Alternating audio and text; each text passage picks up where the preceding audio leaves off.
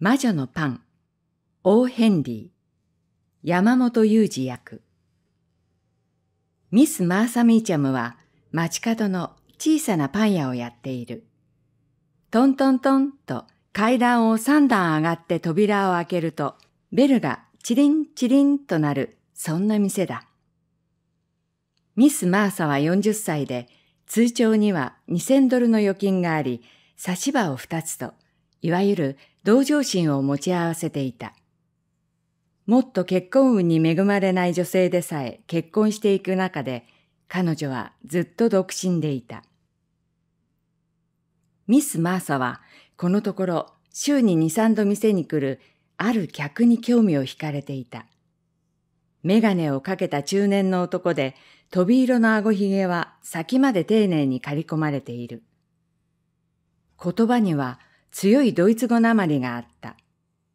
ところどころ擦り切れた服には繕いがしてあり、シワが寄ってダブダブのところもある。けれど、右霊にしていて、とても礼儀正しかった。男はいつも古いパンを2個買っていった。焼きたてのパンは1個5セントで、古いパンは2個で5セントだ。男はいつも古いパンの方しか買おうとしなかった。ある時、ミス・マーサは男の指に赤と茶色の汚れがついているのを見つけた。それで男がとても貧しい絵描きなのだと確信した。屋根裏部屋に住んで絵を描き、古いパンを食べては、ミス・マーサのパン屋のもっといい食べ物のことを思い浮かべているにそう言いなかった。ミス・マーサは骨付き肉とジャムを塗ったふんわりとしたロールパンの食事を済ませ、お茶を飲みながら、この美味しい食事をご一緒できたら、とため息混じりに考えた。あの礼儀正しい画家が隙間風が入る屋根裏部屋で硬くなったパンに何もつけずに食べる姿を思い浮かべる。前にも言ったが、ミス・マーサは同情心に溢れていたのだ。ある日彼女は男のなりわいを確かめるために以前に安く買った絵を部屋から持ってきてパンのカウンターの後ろの棚に置いてみた。その絵はベニスの風景だった。見事な大理石の宮殿、絵の説明によればパラッツォが前景の地面というより水の中に立っていた。他には空と雲、手を水に差し入れた婦人などが乗るゴンドラが描かれ、明暗法、キアロスクーロが多用されている。画家ならきっとこの絵に目を留めることだろう。二日後にまた例の客がやってきた。古いパン二つお願いします。パンを包む間に彼が言った。マダム、綺麗な絵がありますね。これですか？ミス・マーサはしてやったりと北総園だ。私、芸術も絵か、絵描きっていうのはちょっと早いわね。そう、絵も大好きなんですの。言葉を選んで答えた。これをいい絵とお思いかしら？客は言った。宮殿の描き方、あまり良くないね。遠近法、正しくないです。では、ごきげんよう、マダム。彼はパンを受け取って会釈をすると、急いで出て行った。そうだわ。きっと画家に違いないわ。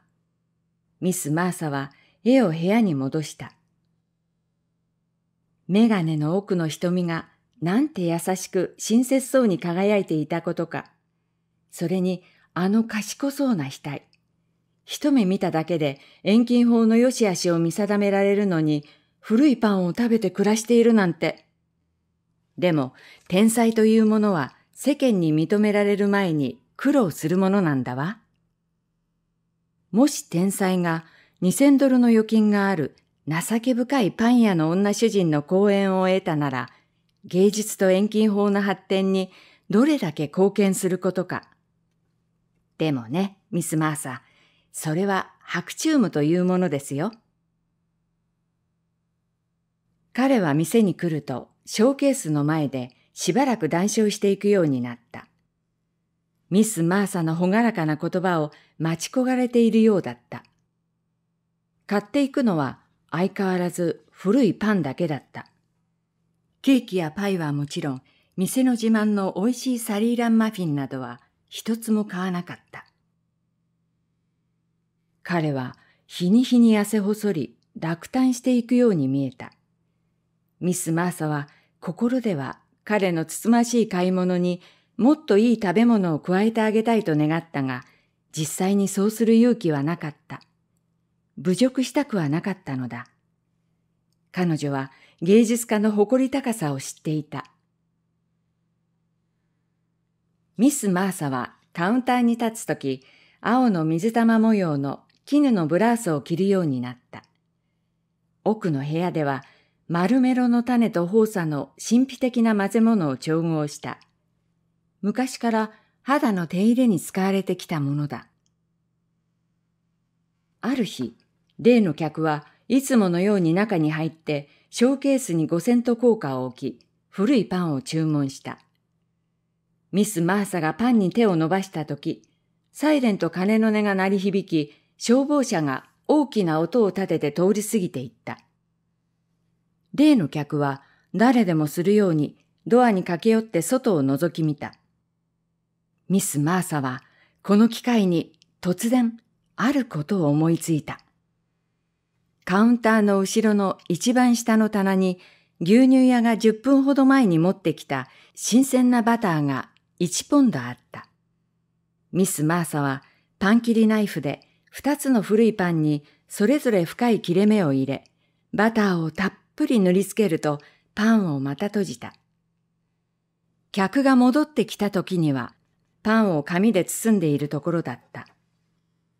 その後のおしゃべりはいつもより話が弾み、彼が言ってしまった後で、ミス・マーサは胸をちょっとときめかせながら一人ほくそえんだ。大胆すぎたかしら。腹を立てるかしら。そんなはずはないわ。花言葉ならともかく食べ物言葉なんてないし。バターを入れてあげるくらいなら、はしたない出しゃばり屋には思われないはずよ。その日ずっと彼女はそのことばかり考えていた。彼があのちょっとしたいたずらに気づく場面を想像してみた。やがて彼は絵筆とパレットを置くの。イーゼルの上には書きかけの絵があって、その遠近法には火の打ちどころがないのよ。それから何も塗らないパンと水だけの昼食を準備するの。そしてローフパンを切り分けると、ああ。ミス・マーサは顔をあからめた。食べながらバターを入れた人のことを考えてくれるかしら、もしかして。玄関のベルが荒々しくじゃんじゃん鳴らされた。誰かがけたたましく中に入ってきた。ミス・マーサは急いで店先に出た。二人の男がそこにいた。一人は以前に一度も見たことがない若者でパイプを吹かしていた。もう一人はあの芸術家だった。顔を真っ赤にし、帽子もきちんとかぶらずに、髪は乱暴にかきむしったようだった。彼は両の拳を握りしめ、ミス・マーサに向かって猛烈に振り回した。そう、ミス・マーサに向かって。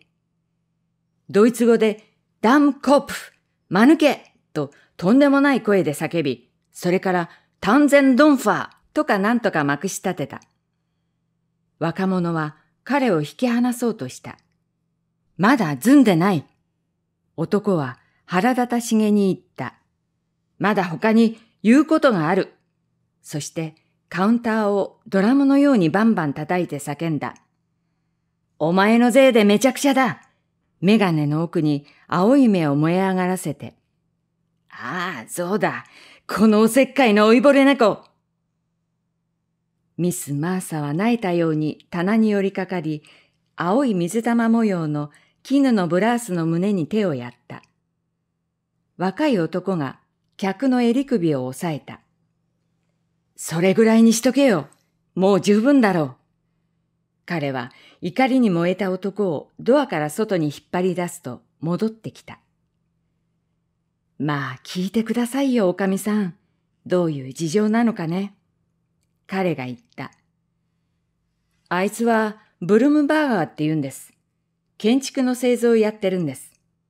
僕は同じ事務所で働いているものです。彼はこの3ヶ月間というもの、新しい市役所の設計図を一生懸命書いていたんです。賞の出るコンペ、つまり設計競技のためにね。彼は昨日図にインク入れを終えたところだったんです。製図者はね、いつもはじめは鉛筆で製図するんです。それからインク入れの後で古いパンくずで鉛筆の線をこすって消すんですよ。消しゴムよりこっちの方がよく消えるんでね。ブルンバーガーはこちらでパンを買っていましたね。おかみさん、今日のあのバターはどうもまずかった。こうなった以上、ブルンバーガーの設計図は切り刻んで味の足りないサンドイッチにでも入れるしかないというわけでして。ミス・マーサは奥の部屋に入った。青い水玉模様の絹のブラウスを脱いで、いつも着ていた古い茶色のサージの服に着替えた。それから、丸メロの種とホーサの混ぜ物のお手製化粧品を窓の外のゴミ箱に放り込んだ。